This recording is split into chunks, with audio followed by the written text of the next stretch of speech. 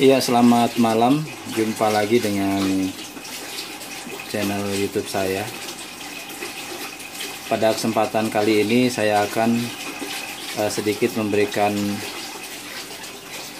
penjelasan uh, untuk membuat nutrisi AB mix pengganti dari bahan-bahan NPK 16 16 16 kemudian pupuk KCL dan pupuk gandasil D. Sementara di sini sudah saya sediakan 20 liter air. Air sumur di mana air sumur saya memang pH-nya sangat rendah. Tapi ppm-nya cukup lumayan, rendah juga. Jadi yang mana kalau ppm rendah baik untuk membuat nutrisi tanaman. Pada kesempatan ini ya saya sempat bincang-bincang dengan Mas Yon dari Yons Hidroponik.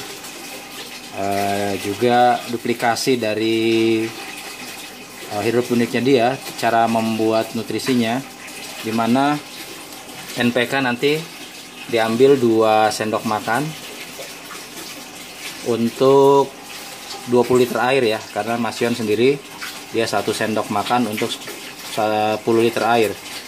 Kemudian KCL 2 sendok teh. Nah ini saya improvisasi saja di mana Mas Yon sendiri hanya menggunakan NPK dan KCL dengan perbandingan 2 sendok 1 sendok makan NPK dan 1 sendok teh KCL untuk 10 liter air. Sementara saya improvisasi tambahkan ganda silde uh, saya akan coba-coba juga mungkin mudah-mudahan bagus hasilnya. Di mana juga ganda silde akan saya berikan sebanyak satu sendok teh. Untuk 10 liter ya karena saya buat saat ini 20 liter maka ini jadi 2 sendok makan ini 2 sendok teh dan ini juga 2 sendok teh. Baik sebelum kita meraciknya lebih dahulu seperti biasa eh, kita akan mengukur ppm maupun ppr air maupun pH air sumur saya yang mana sudah saya jelaskan tadi bahwa pH-nya sangat rendah kisaran 3,9 sampai 4 pH-nya. Ini kita punya pH meter kita hidupkan. Nah ini. Kita coba tes dulu sebelum kita campurkan. Ini pH-nya berapa air sumur saya? Aduh silau silau men terus turun. 4,7 4 setengah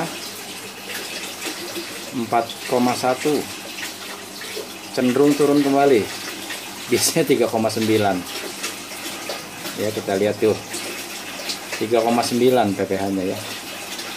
4 sampai 3,9 bahkan bisa 3,8 rendah sekali. Ini sangat asam nah, gitu.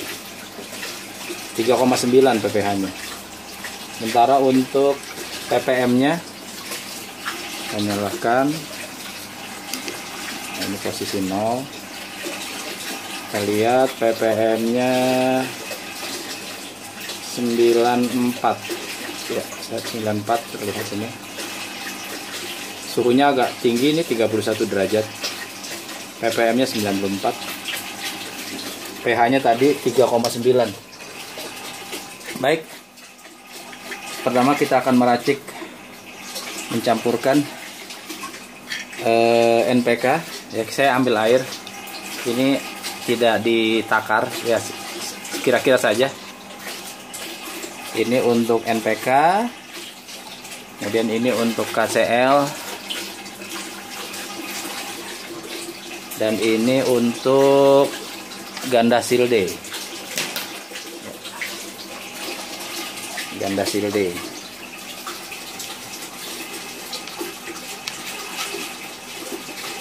baiklah kita ambil dulu NPK nya yaitu 2 sendok makan. 1 sendok 2 sendok untuk 20 liter air kita sisihkan kemudian kita ambil KCL nya juga dua sendok tapi dua sendok teh. Ya. Ini. Terlalu banyak nih. Satu. Biasanya KCL nanti agak sulit untuk larut karena dia seperti mengkristal. Dua. Dua sendok teh KCL dan ganda silde nya juga dua sendok teh.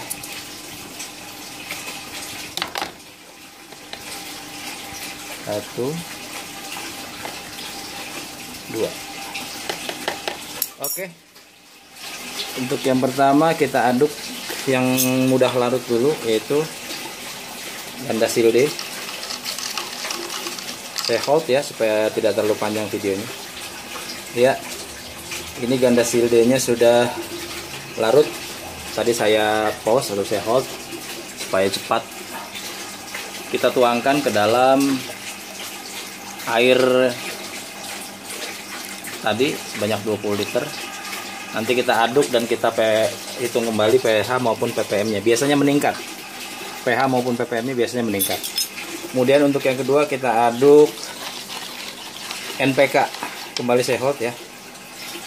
Ya ini eh, NPK nya juga sudah larut. Lihat sudah tidak ada lagi butir-butir. Ada tapi tidak terlalu banyak. Kita tuangkan kembali ke dalam air 20 liter tadi.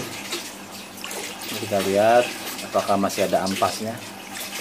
Ya ada sedikit sekali. Oke NPK dan ganda silde sudah masuk. Nanti tinggal diaduk.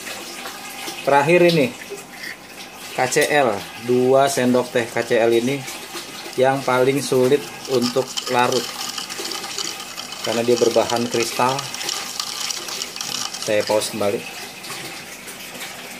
Ya ini KCL nya sudah cukup lama saya aduk ya. Barusan saya hold atau saya pause ya sekitar 90 atau 85% sudah larut dalam cairan. Nanti ampasnya tidak saya masukkan. Ya ini saya masukkan sekarang. Ini pupuk KCL mungkin ada ampasnya.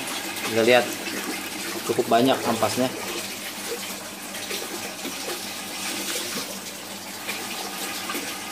Tapi tidak saya masukkan